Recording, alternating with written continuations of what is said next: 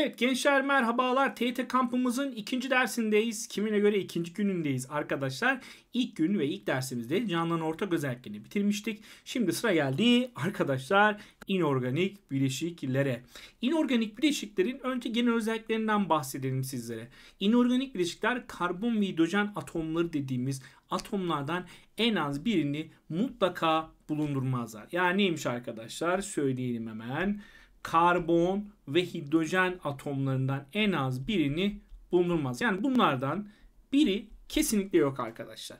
Ama organik bileşiklerde ise karbon hidrojen ikisini birden bulundurmak zorunda. Tabi ekstradan oksijen de bulundurabilir organik bileşikler. İnorganik bileşikler ise karbonla oksijen, hidrojenle oksijen bulundurabilir.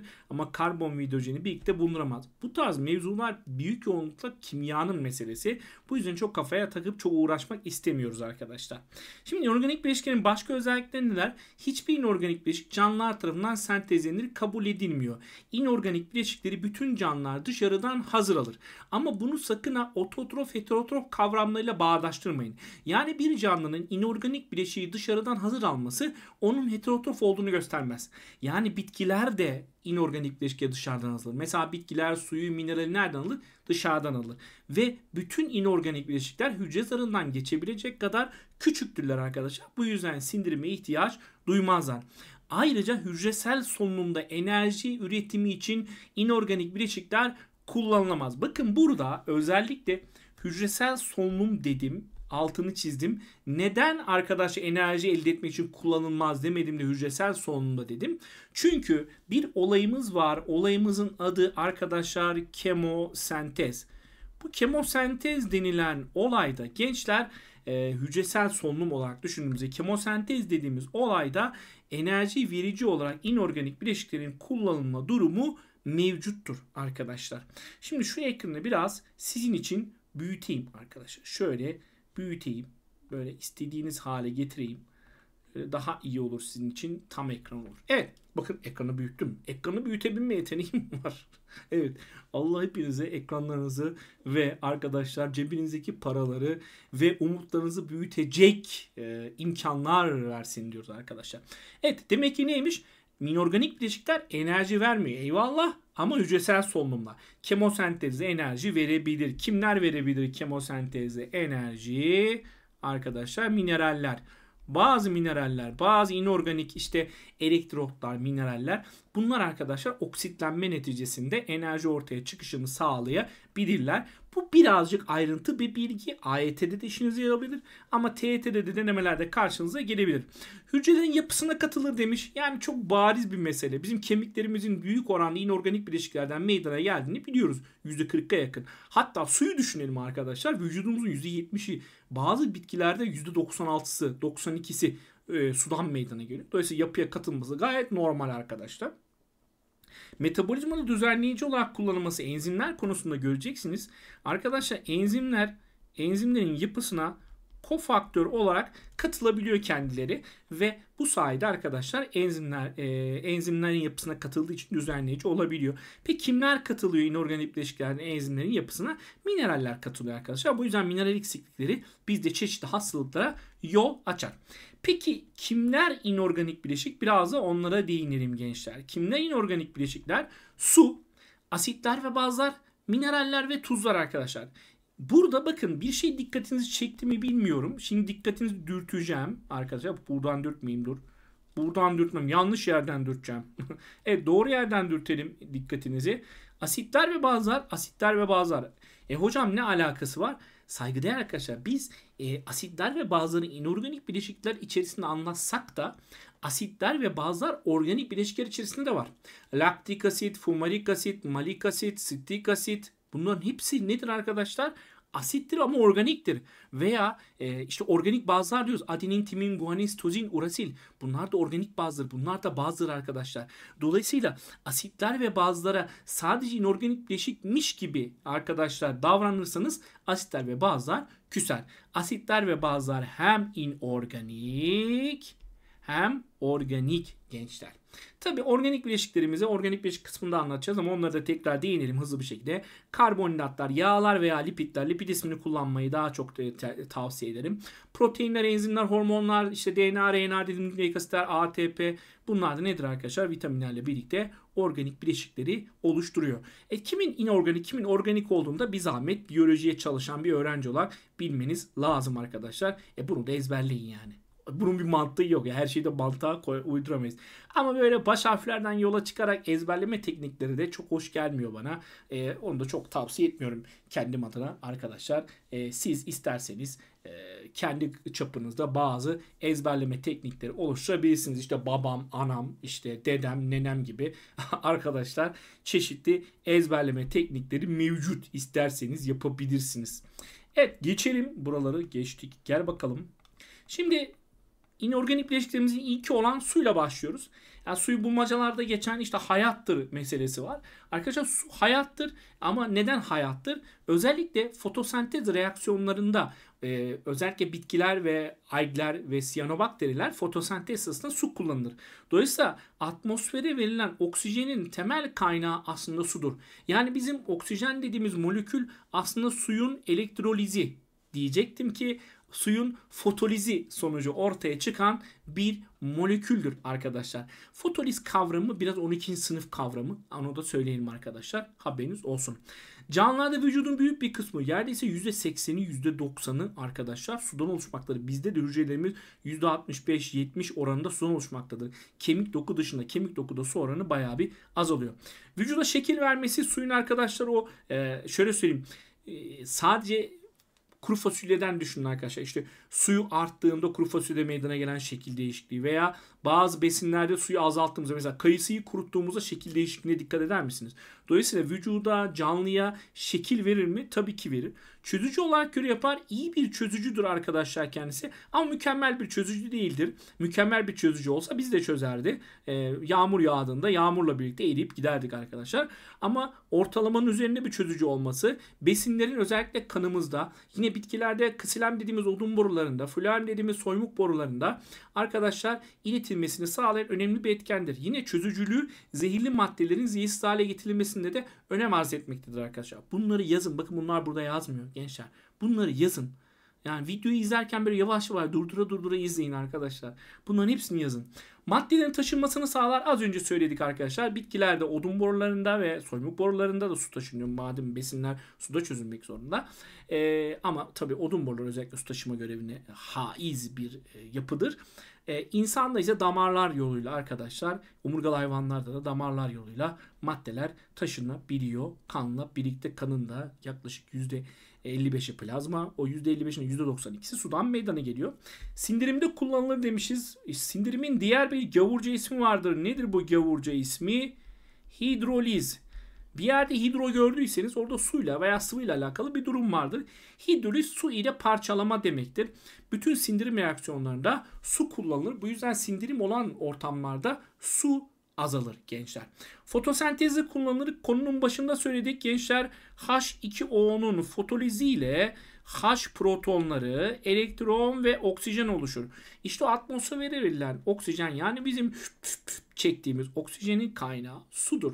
Hep bütün fotosentez yapan canlılar su kullanılır mı fotosentez sırasında? Bu konuda derin çekincelerimiz var. 9. sınıf olduğunuz için bu ayrıntıları size söylemek istemiyorum.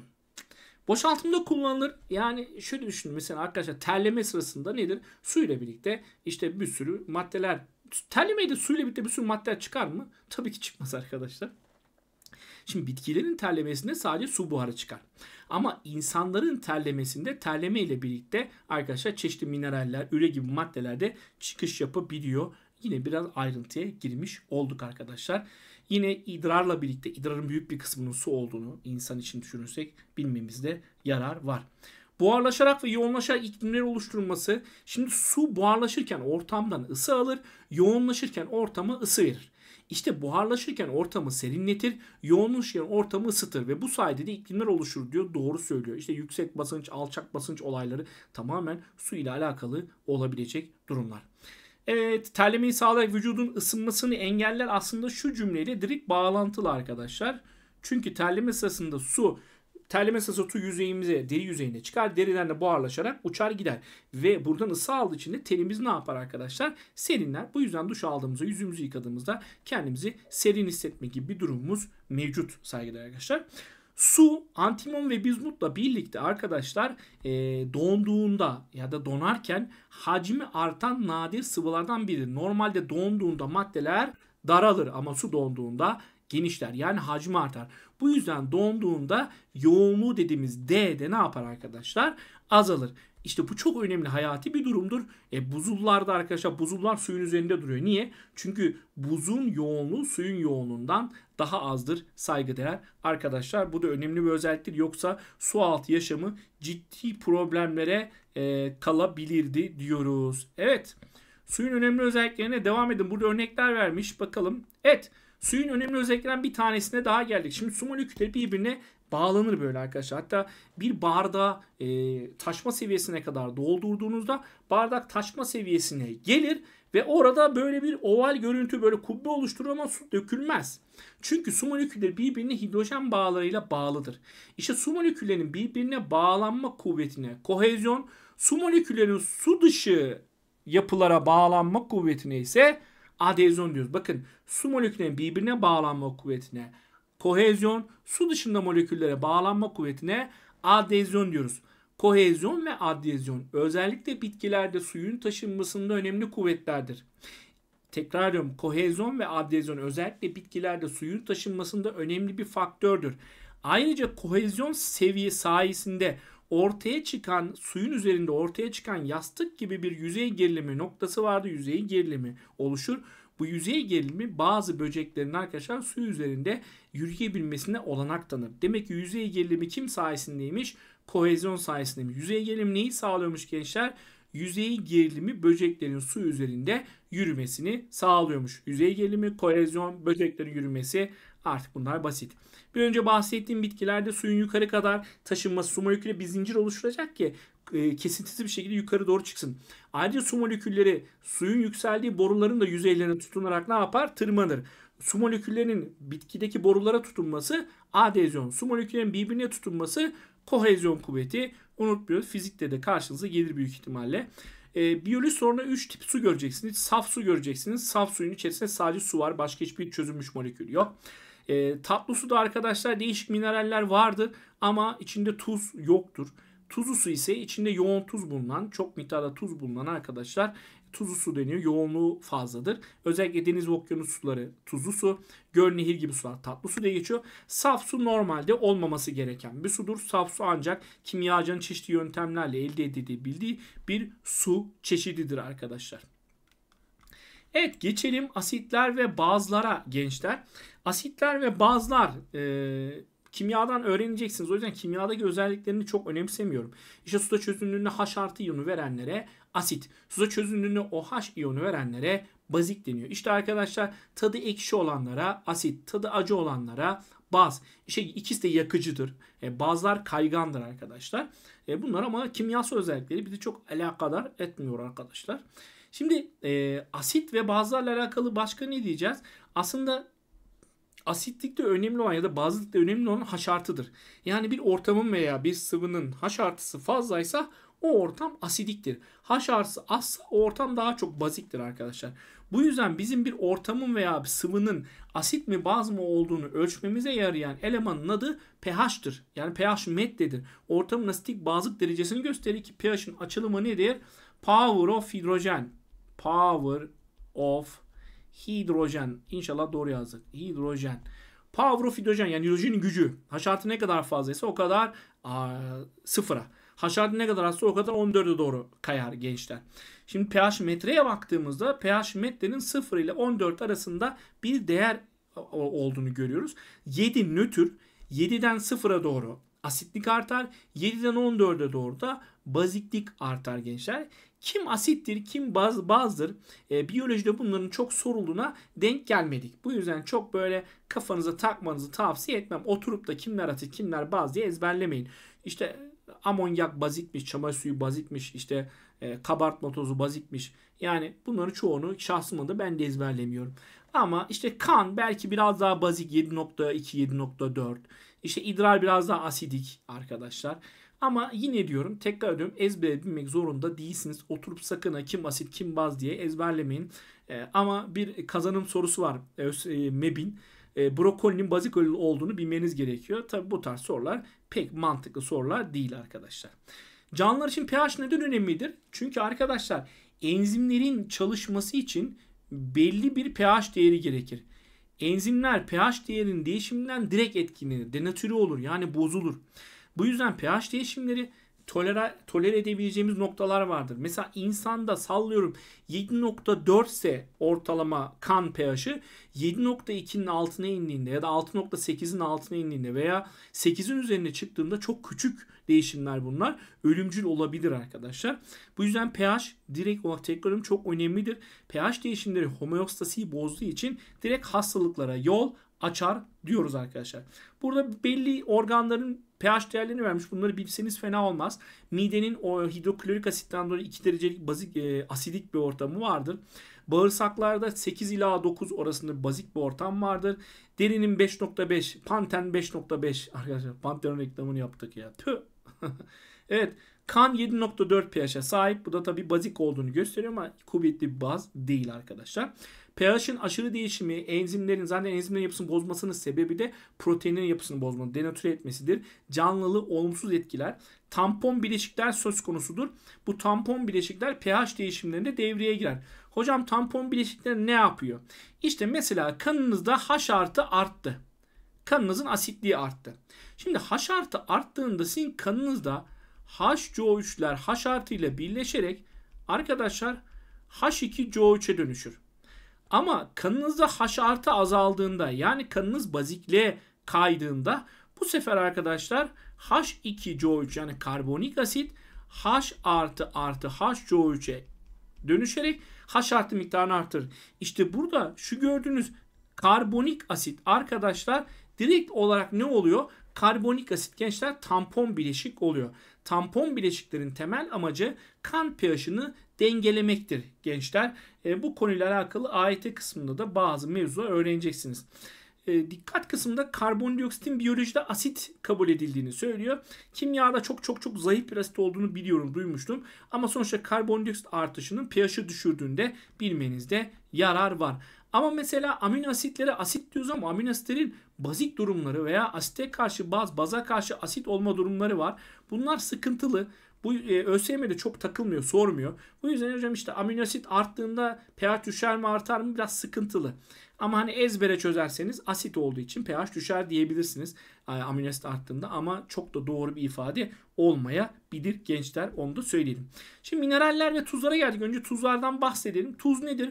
Tuz bir asitle gençler bir asitle bir bazın nötralleşme veya nötrleşme reaksiyonuna girmesi sonucu oluşan moleküllerdir.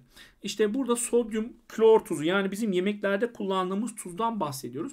Bu sodyum hidroksit dediğimiz bir baz ve hidroklorik asit dediğimiz bir asitin e, reaksiyona girmesi sonucu meydana gelen sofra tuzudur. E, kalsiyumda bir molekülde su açığa çıkar. Çünkü işte hidrojenlerle oksijenler birleşiyor, bağ yapıyor ve su oluşuyor. E, tuzun e, canlı yaşam için önemi vardır. Evet gereklidir. Ama tuzun hiç olmaması da, tuzun çok olması da zararlıdır. Bu yüzden yemeklerinizde ekstra tuz katmamanız gerekiyor. Mesela sebze yemeklerinde veya normal yemeklerde aslında tuz oranı yeterlidir. Besinin kendi tuz oranı yeterlidir. Ekstradan atacağınız her tuz vücudunuza arkadaşlar ciddi bir e, yük bindirir. E, kanserden tutun da birçok hastalığa e, zemin hazırlayabilir. Özellikle 3 beyaz tuz arkadaşlar şeker ve üçüncü beyaz neydi? Tuz, şeker ve un. Bu üç beyazdan arkadaşlar uzak durmanız gerekiyor ki e, çeşitli hastalıklardan e, uzak durmanız e, arkadaşlar sağlansın. Minerallerimiz var. Bu minerallerin bazıları var. Bakalım ne işe yarıyormuş bu mineraller arkadaşlar. Kalsiyum mesela kalsiyum vücudumuzda en fazla bulunan mineraldir arkadaşlar.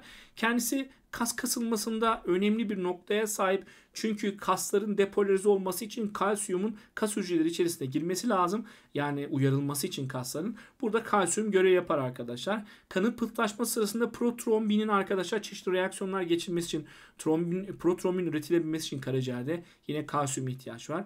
Kemiklerin yapısında da en fazla bulunan yine kalsiyumdur. Kalsiyum karbonat ve kalsiyum fosfat tuzları arkadaşlar. Bunlar da kemiklerin yapısında bulunabilir. E, kanda kalsiyum o kadar önemli bir mineraldir ki kanda kalsiyum miktarını ayarlayan iki tane hormon vardır. Bir tanesi kalsitonin, biraz bir tanesi paratormondur. Demire geldiğimizde demirin bir hemoglobinin yapısını oluşturduğunu ama bunu unutmayın kana kırmızı rengini demir vermez, vişne suyu da vermez. Kana kırmızı rengini arkadaşlar ne verir? E, hemoglobindeki globin proteini. Globin proteini kırmızıdır. Demirin bir görevi daha var. Buraya eklememişiz ama siz ekleyebilirsiniz.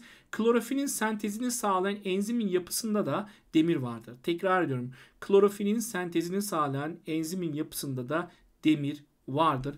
Bunu da bilmenizde fayda var diye düşünüyorum arkadaşlar.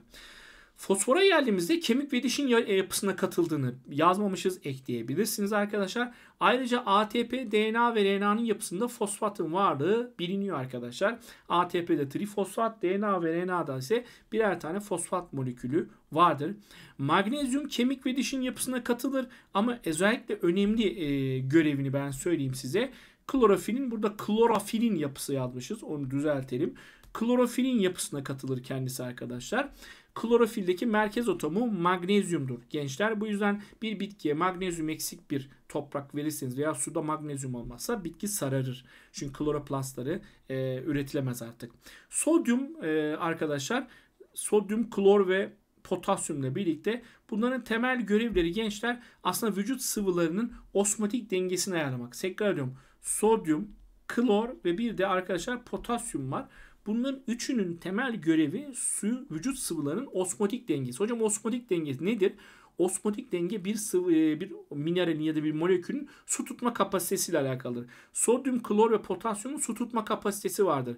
Dolayısıyla vücut sıvılarının su dengesini yani osmotik dengesini ayarlarken sodyum, klor ve potasyum önemli bir göreve sahiptir. Yine sodyum, klor ve potasyumun da e, kandaki miktarını ayarlayan aldosteron gibi arkadaşlar e, hormonlarımız mevcuttur. Onu da ifade edelim. E, sodyum sinir sistemi e, çalışmasında görevli çünkü sodyum ve potasyumun değişimi var nöronlarda. 11. sınıfta göreceksiniz bunu. İyot tiroksin hormonunun yapısına katılır. Tiroksin bizim metabolizmamızı düzenleyen yani metabolizmanın ne kadar hızlı veya ne kadar yavaş çalışacağını düzenleyen hormondur. Tiroksin hormonu tiroid bezinden salgılanır. Buradaki tiroid bezinden ve yine merkez atomu iyottur. İyot eksikliği insanlarda guatr hastalığına sebep olabilir. Flor yine kemik ve dişlerin yapısına katılır. E, parlak görünmesini sağlar. Eksikliği sararmaya sebep olur arkadaşlar. E, Birçok diş macununda flor mevcuttur. Klor ise yine sodyum, klor ve potasyum birlikte vücut sıvılarının osmotik dengesini ayarlar. Ayrıca bizim arkadaşlar midemizdeki hidroklorik asitin yapısında da klor mevcuttur. Dolayısıyla midedeki sindirim olaylarına da yardımcı olur dedikten sonra bu video, bu ders bugün de burada bitiyor. Arkadaşlar inorganik bileşikleri bitirdik. Ee, soru bankanızda gerek aktif e, biyolojinin soru bankasında veya hız yayınlarının soru bankasında veya kendi elinizde bulunan bir soru bankasında inorganik bileşikler ve canlıların ortak özellikleriyle ilgili olan soruları çözün. Mutlaka çözün. Yani kafanıza böyle vura vura çözün arkadaşlar. Kendinize iyi bakın. Görüşmek üzere.